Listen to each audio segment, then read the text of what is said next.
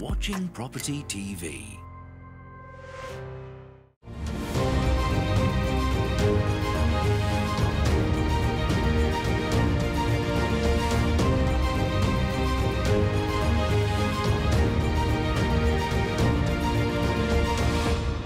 Hello, and welcome to Property Question Time. I'm Stephen Galpin, and this is a show where you're going to have your property related questions answered by a team of property experts. And joining me today is Sally Wang, who is um, CEO and founder of SJW UK Property Investments Limited. Sally, welcome to you. Thank you. Good to see you again. Mm-hmm. Looking very beautiful, if I may say so, in your blue dress. Thank you, Stephen. Okay, and um, Daniel, no such compliments for you, I'm, I'm, I'm afraid. But uh, Daniel is sales director of Sequre Property Investments, and um, now your second show. Welcome back. Thank you. Okay, good to see you both. Let's start off with Sally then. When building a portfolio of rental property, do the panel think it better to have the properties close to hand, or is it acceptable and sensible these days with good internet connections and dedicated software to invest further afield? Um, Stephen, 99% of my buyers, they don't live in this country. So, I mean, technology and, and also the communication and softwares we could use nowadays is incredible. So, I mean, the key point for any buy-to-let investors is to find the right product.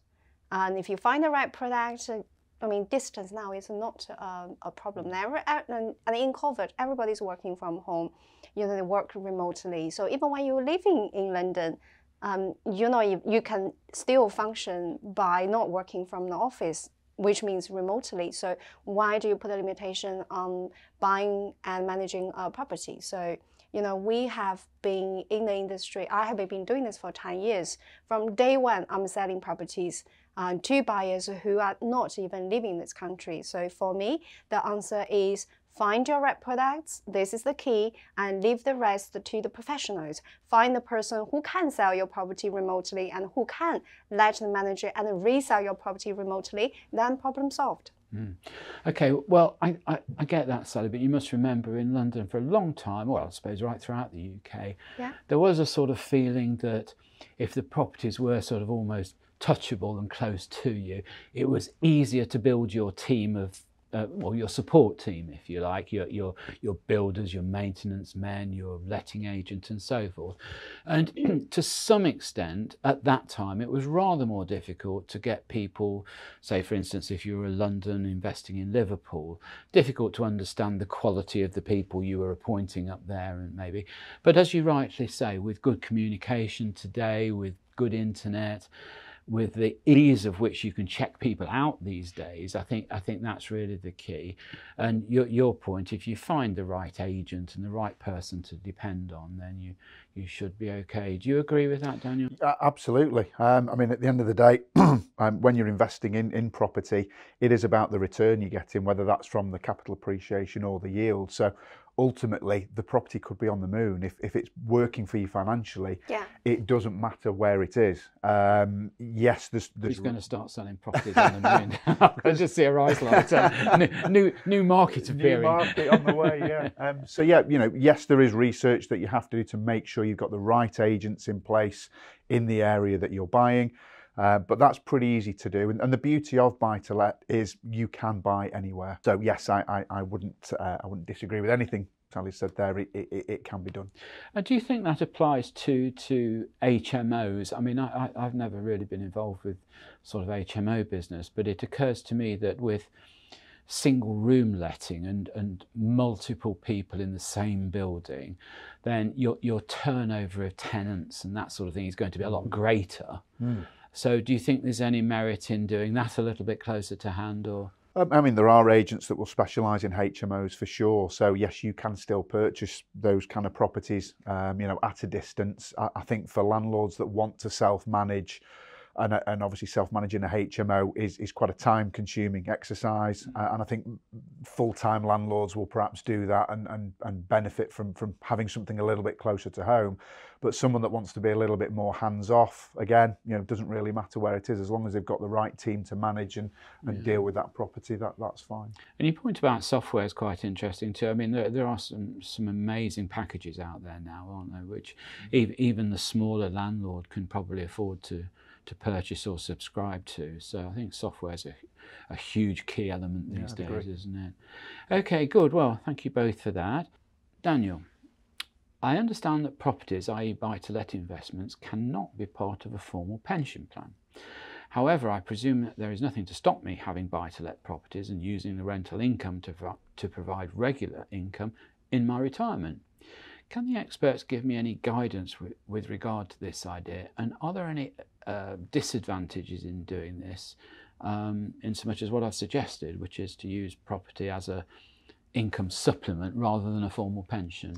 Yeah, um, nothing to stop someone doing that at all. Um, you can buy commercial property and put that in a in a SIPP, in a self-invested pension plan. Um, but but residential properties are a, no-no. It would just need to be bought in personal name or, or limited company.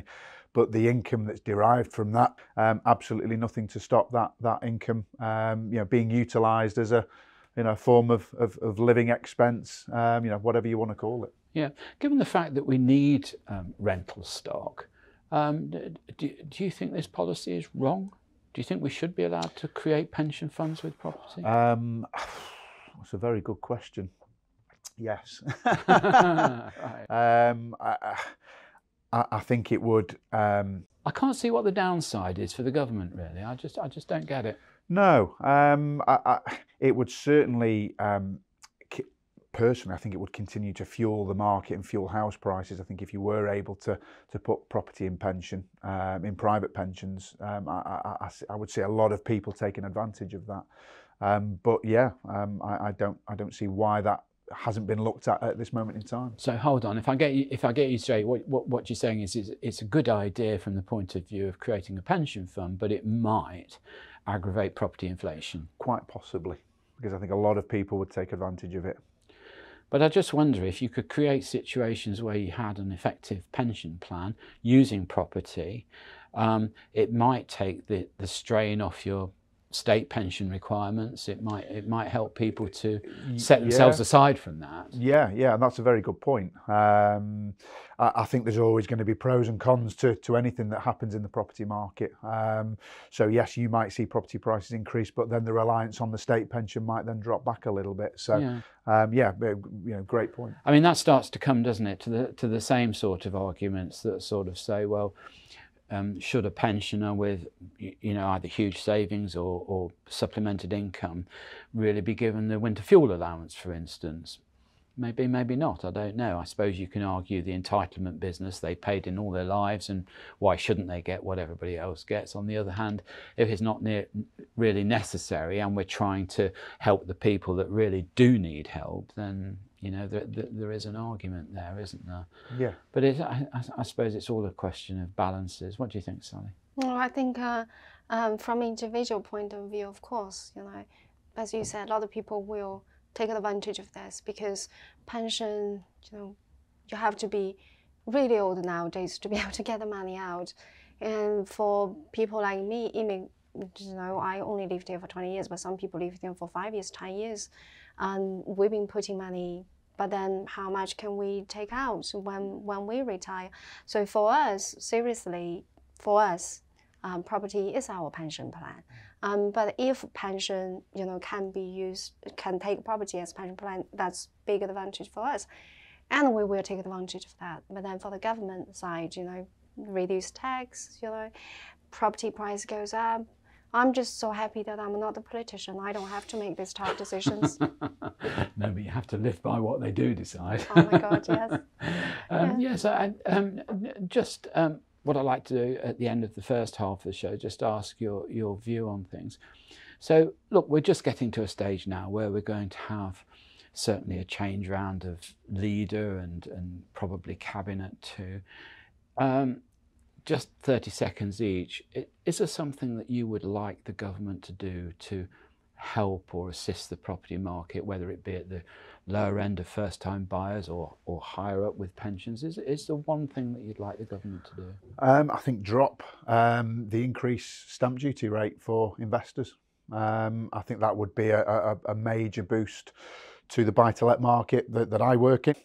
On one hand, it hasn't stopped people from investing because they see the long term benefits of property. Um, but on the other hand, I, I think it's, um, you know, will be a cash flow boost to a lot of people. You know, stamp duty in London on, on an average purchase price is, is quite a lot of money.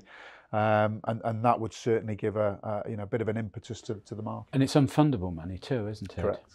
Yeah. Sally, come on, here's your chance.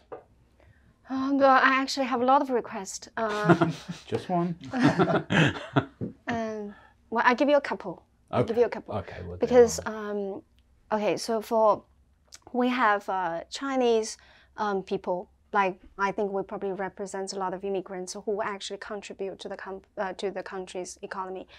Like I'm, I'm pretty healthy. I don't use the NHS. I don't, but I'm still paying, you know, all the tax and all the pension. But I don't actually take any. I don't think I take that much from the government. Um, and then people like me now, I have my own business, I'm okay. But then people like me 10, 15 years ago, they just newly uh, graduated to come to this country. They are contributing to the economy. Um, when they thinking of buying their first property in London, I think that's that's a very difficult thing for them to think of. Help to buy, share ownership, those helps. Um, but I don't think there's enough stocks there. We always talk about supply and the demand. You know, supply is not meeting the demand. There's a lot of supply, but the supply is a high, it's expensive properties. There's a lot of, uh, I think, expensive properties are oversupplied. And then property that actually people can afford to buy is not enough. When we, when we help our help to buy um, Chinese young graduate, bright young graduates looking for homes in London, we can't find many options on the market for them that's suitable for them. So if if the government can look at the labor market, you know, the skilled workers, we don't have that many skilled workers here. And then the cost of a building is going up. That's a strain for the developer. How to tackle this problem, right? And inflation is going up. Inflation goes up, you have to pay them salary, high salary, then the cost goes up again. You know, this is an endless problem. So, I mean, if the government can find a solution, put a package to make building good quality, affordable house, not affordable house, affordable to the first time buyer for the bright young um, graduates, the generation that can actually bring the country, you know, to a better location, a better destination if can help them to get on the property ladder, give them good quality properties. I think that's that's a, that's that's a good thing they can do Okay, for this ha- group of people. I'm but there's have a to lot of other you people. there, yeah. That's we've Yeah. run out of time for this half Yeah, of the show, so so I'm afraid you only got one in, but I might Yeah. give you a chance later in the show. Yeah, okay, okay, yes, all right. Stephen, yeah. Okay, well that's all we've got time for in this half of the show. So join me again, join Sally and Daniel again after the break. See you then. You are watching Property TV. You are watching Property TV. Hello and welcome back to part two of Property Question Time. I'm Stephen Galpin and I'm joined by Daniel Jackson and Sally Wang. Welcome back to you both. Sally, um, I'll be fair, I'll let you ask your second request to the government. Come on then, very quick. So uh, my second request, okay, how uh, I'm going to explain it in details and then see whether you can summarize it in uh, one sentence because I'm not good at it. Okay, so for I'm still looking at people in my group. Okay, we talked about people just graduated, um, young immigrants or local buyers, and then move on people at my age group. I'm in my early 40s. I've been working very hard um, for other people. Then I set up my own business. So I'm not coming from a rich family. I have I only come to this country with three thousand pounds. So and I can't I don't say that I can get out with pension when I'm getting older. This is this is honest, you know, mm. for my future. And there's not many investment products in the UK I can use. In China, you know, if you save money in the bank, you get five percent return. That's a save an interest rate for saving. It's quite high, four to five percent. So if you don't do anything, you just save your money in the bank, you probably can help yourself to retire, have a good retirement life. But here we don't have options. I don't understand stocks. I don't I don't want to buy stocks because it's high risk. All I'm buying is property that's on buying. I'm buying not because I'm greedy, because I need to think for my own future. Nobody else is going to look out for me. I need to think the future for my parents, my husband, you know, the, the my, my family. I need to think for them, provide for them a, a nicer future. When we retire, we don't have to worry about, you know, where are we going to pay for this meal, where are we going to live. But then once we when we buy property, we get we have to pay a lot of tax. So 40%, at least 40% is not ours so I'm, I'm just like, you know, what's the point of working so hard? What's the point of I'm actually going to work and, and, and you know, provide for my future because half of my hardworking thing is not mine. And then mm. am I thinking of going to another country? I, I don't know, you know, but this this probably is what you're saying because we are a middle class. There's a, there's a lack of incentive here, isn't there, to save and to invest? No, what I'm trying to what I'm trying to see that is the government now is I don't think they're actually looking after the people that's middle class, which is the I think is a big proportion of the country that actually can make the country become greater. And they are they are not looking after the people who's maybe at a starting point, young graduates who just come to the world, need to find a job, need to start start fresh and have you know build a future for them. So, but these people that maybe takes bigger proportion of the whole population that you're not really looking after in some sense. But I, I mean, the government looking after in, other ways, like the furlough scheme and everything. That's very nice. NHS system in the UK is brilliant. This is really, really good. But then in the Wales, you know, everybody deserve to look after their family. Okay. Yeah. Well, I'd love to hear how how you're considering providing for your husband. I wish I wish I got somebody. no, no, wish, I, I, wish I'd got somebody providing for me. Don't that you, would Daniel? Be very, that would be very nice. really yes, good. no, nice. no, no, no, no. I, I just meant, you know, even as a husband and wife, you want to bring something back, contribute to to to the. You, you, you know, I don't want to spend my husband money. I was just going to So, suggest yeah. you get a divorce and come down the I aisle. This is know. brilliant. No, I just- sorry, I okay, wrong, all right. yeah. Now I think we'll have to get on with the questioning now. So, Sally, your question is this. I'm currently remodeling a building in which I have six flats. My agent is considering marketing these in the Asia Pacific areas for sale or rent um, when the work is complete. Can the international property experts give any tips in terms of attractive features that I should offer when signing off the designs of- of these apartments specifically for those markets? Uh, floor plan. So let's talk about floor plan first. Floor plan, um, we like square. I think everybody probably, um, a lot of people, I think a bigger proportion of people like square um, floor plan, especially the, the Asian people, international buyers, floor, um, square. Um, I know some architects or designers, they like to give the building different shapes to Well, you show know why that is, don't you, Sally? Do you know why? Architects get paid a percentage of the costs of building the building. Okay, so if you build a square building, the costs are quite low. If you build a building with lots of corners, lots of curves, lots of odd shapes, the costs go up and the architect's fees go up accordingly.